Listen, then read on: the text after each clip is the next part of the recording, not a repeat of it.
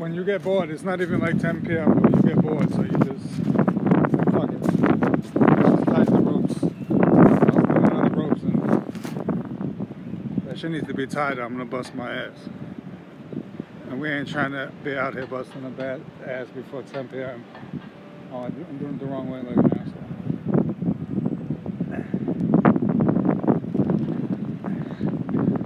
Look at this. That's like a porno in some fucking uh, countries right there. People pay money to see a motherfucker do some shit like this. Look at that. You know that's a fetish right there. And I'm wearing a Hawaiian shirt. People pay good money to watch that shit. Look at let's let's watch this again. Look at that. People would pay money for that. You know it. You know it. Listening to Tupac in the background too. You can't hear it. Just imagine. I didn't try to bust my ass.